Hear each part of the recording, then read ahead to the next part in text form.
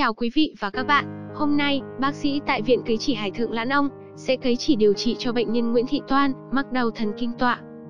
Đau thần kinh tọa, hay còn gọi là đau thần kinh hông to, biểu hiện bởi cảm giác đau dọc theo đường đi của thần kinh tọa.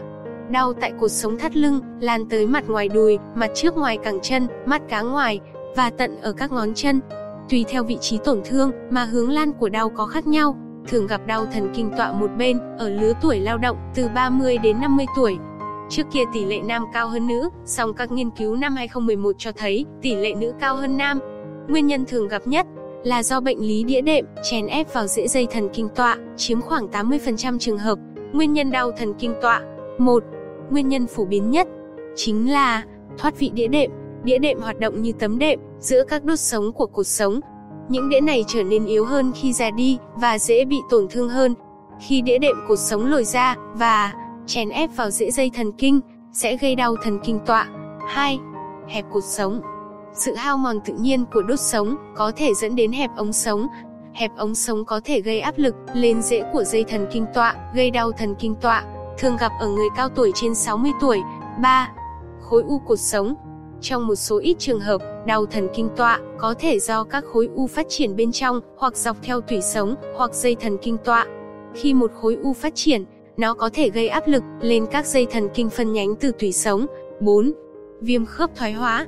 Đây cũng có thể là nguyên nhân gây đau dây thần kinh tọa. Khi bị viêm khớp thoái hóa sẽ gây kích thích hoặc sưng dây thần kinh tọa. 5. Hội chứng cơ hình lê. Cơ hình lê là cơ tìm thấy sâu bên trong mông, nó kết nối cột sống dưới với xương đùi trên và chạy trực tiếp qua dây thần kinh tọa. Nếu cơ này đi vào co thắt, nó có thể gây áp lực lên dây thần kinh tọa, gây ra các triệu chứng đau thần kinh tọa. Hội chứng cơ hình lê phổ biến hơn ở phụ nữ. 5. Chấn thương hoặc nhiễm trùng. Các nguyên nhân khác của đau thần kinh tọa bao gồm viêm cơ, nhiễm trùng hoặc chấn thương, chẳng hạn như gãy xương. Nói chung, bất kỳ tình trạng kích thích hoặc nén dây thần kinh tọa có thể gây ra các triệu chứng đau thần kinh tọa. Thưa quý vị, Phương pháp cấy chỉ cắt hút trong điều trị các bệnh lý về xương khớp đã và đang được nhiều bệnh nhân tin tưởng điều trị bởi đây là một phương pháp hoàn toàn không sử dụng thuốc, không phẫu thuật gây đau đớn, ít biến chứng, mang lại hiệu quả điều trị lâu dài. Kính thưa quý vị và các bạn, hiện nay tất cả các chi nhánh của Viện Cấy Chỉ Hải Thượng Lãn Ông trải dài từ Bắc vào Nam đều rất đông bệnh nhân.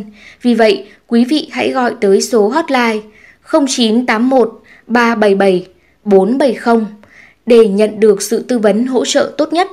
Cảm ơn quý bệnh nhân đã tin tưởng Viện Cấy Trì Hải Thượng Lãn Ông trong bao năm qua.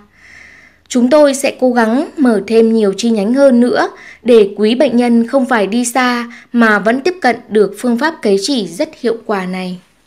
Viện Cấy Chỉ Hải Thượng Lãn Ông chúc bệnh nhân luôn khỏe,